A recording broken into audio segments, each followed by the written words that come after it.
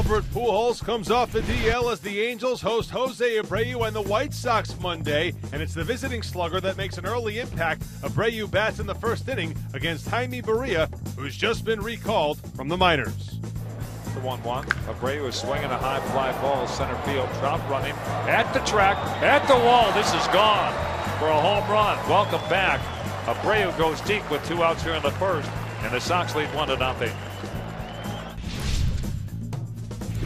So the tying run at second into the top of the order with Cole Calhoun. Delisa to right field.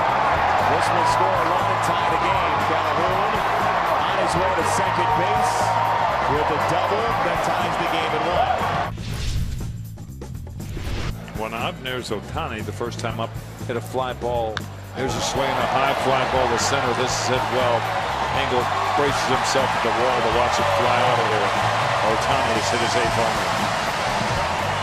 Not only did it hit his eighth homer, I mean, that was way back on the batter's eye, way past the plants in center. I'm going to come back with that as probably about 445, 50 feet away from home plate. I'll give you the 440. Oh, good. Goobly woobly. Moncada at second, Sanchez at first. Two balls, no strike. On the ground and through, base hit.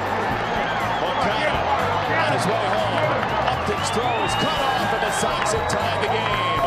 Abreu's feeling it now. He's two for two. He's driven in two.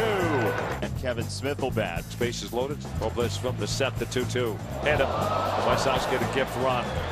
Abreu home and the base is still loaded. And the Sox lead by two and five to three.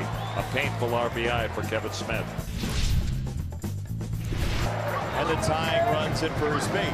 0-2 the count, two down, and runners at first and second. That one strike three call. Sox win. Sox win. They win for just the second time on this road trip.